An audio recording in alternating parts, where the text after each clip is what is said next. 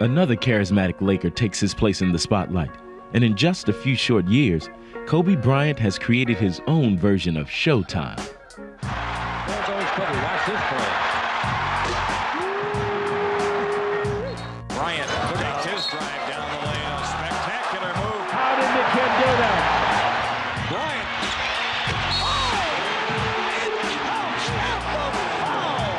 Kobe's uh, giving the people what they came to see, that's for sure. And when the fans are thrilled, so is Kobe. You just get a sensation when you play. Your adrenaline starts pumping. You can feel it in the crowd. You can feel the anticipation. Uh, and where I get the thrill is they don't know when it's going to happen. Here's Jones dribbling. He's down the middle. He goes in deep. Scoops it up. Knocks it. Kobe Bryant. It'll just happen just like that. I'll just be like, oh, that was it. That was it. O'Neal off for Kobe Bryant. Oh, what a dunk! I remember what Babe Ruth said. He, he swings big and he misses big. Same thing with me. I have no fear whatsoever. Kobe all the way into slam dunk. You wait for the right time, you come down, you dunk on somebody, you look at the guy like. Stuff like that brings fun into the game and it gets the fans involved. Kobe Bryant up high and down hard. He's as high as a man Kobe learned about basketball and showmanship at a young age. His father, Joe Jellybean Bryant, played for the Philadelphia 76ers of the 1970s. An entertaining team with a high flying cast led by the doctor, Julius Erving. He put a little extra one on that one. And from the beginning, Joe realized that Kobe was destined for the NBA. Ever since he was small, we, he's always had a basketball in his hand. He's always uh, had that dream of being a, a professional athlete. After eight NBA seasons, Joe moved his family to Italy, where he continued to play professionally. It was a world away from Philadelphia, but that didn't stop Kobe from following his dream. My grandparents would send us all kinds of NBA tapes. I used to get all of them, man. And I was the type of kid, if I saw something on TV, I'd go out in the backyard and try to do it. For the simple fact that I wanted to have every move possible. When he was 13, the family moved back to the United States, where Kobe discovered he still had a lot to learn about basketball.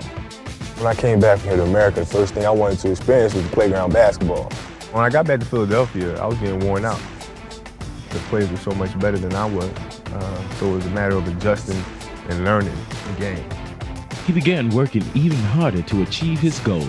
All I wanted to do was improve, and my focus was uh, was on basketball, and that's all that mattered to me. Kobe improved quickly to the point where he became a high school superstar. At age 18, he made the bold decision to jump to the NBA. I've always been around basketball, and I always wanted to be a professional basketball player, and there was no doubt in my mind that I was going to be that. Trailer, trailer. From the start, it was clear he had made the right move. There it is. They have the ball underneath. Kobe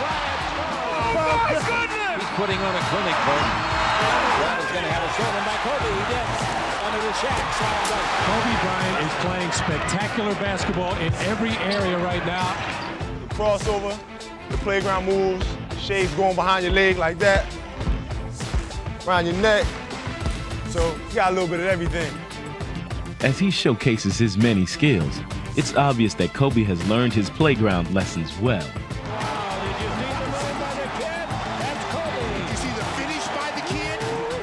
But as polished as he is, he constantly studies the game and its players. I take bits and pieces from everybody. Uh, Magic, Mike, Larry, uh, Karl Malone, Olajuwon, Barkley. Now I'll take bits and pieces of everybody's moves, everybody's uh, strengths, incorporate them into my game. That's some move. A glimpse of Kobe Bryant. And his lifelong passion for the game is apparent each time he steps onto the court. All the emotions that you have held inside you, once you get out on the basketball court, you just let it all out. You just let it all loose. Um, there's no bars. You're out there playing the game that you love and that you learn how to play, competing against the best basketball players in the world in front of thousands of people. Uh, you can't top that. That's the, that's the ultimate show. Really got a dribble drive, change of direction by Bryant. Slam dunk. I think that's what the fans came to see.